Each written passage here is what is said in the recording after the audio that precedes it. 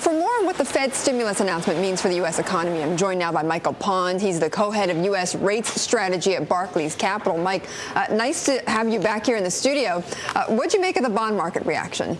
Well, the, the announcement was about as expected. So we were expecting about 100 billion purchases a month, and combined with the reinvestment that the That's Fed is already it, doing, yeah. that's about what we're getting over the next uh, seven months or so, seven, eight months.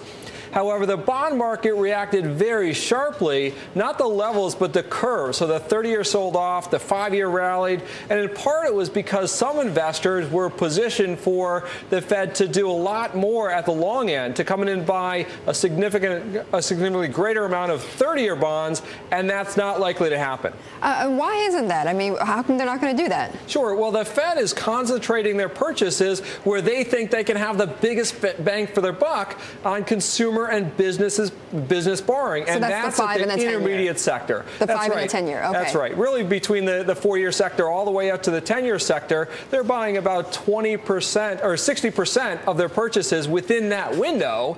Some in the long end, as they have all along, but they're not upping the purchases in the long end. Um, is that is that traditionally the area that is going to have the biggest impact on That's businesses? right. So particularly they're they're targeting consumer borrowing rates for mortgages, and typically mortgages price off the intermediate sector of the of the Treasury curve. So that's really the logic from the Fed's perspective. Okay, but even that, it's not going to be, as we've been hearing all along, the silver bullet for the economy, right? That's right. Partly the, the biggest impact is the psychological impact of the Fed being there to support the market.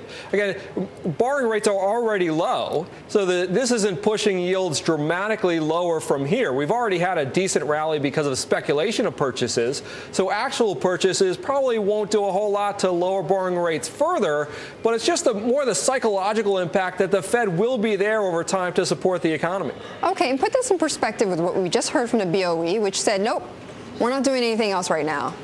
Well, certainly there are some on uh, the Bank of England that are looking for more. Uh, so Posen, for example. But others say, look, growth is high, inflation is high, uh, and we don't need to do anything more. In the U.S., inflation is low and the unemployment remains very high. So the Fed can afford to do more without causing too much concern about near-term inflation expectations, although they are pushing longer-term inflation expectations much higher.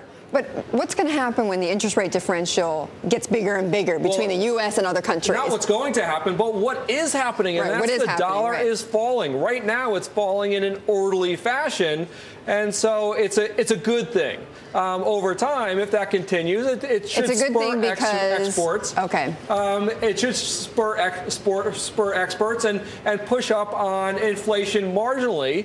If it falls at uh, an disorderly decline, well, then that's a that's a different story and something the Fed and uh, uh, administration officials just don't want. Okay, all right, Michael, thanks so much. Appreciate it. Michael Pond of Barclays Capital on the interest rate scenario.